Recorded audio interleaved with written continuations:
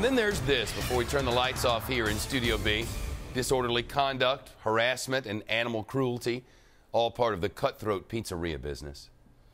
Police in Upper Darby, Pennsylvania say they've arrested a pizza owner who was trying to sabotage the competition. Investigators say the man walked into two neighboring pizza restaurants carrying bags of mice and put them inside.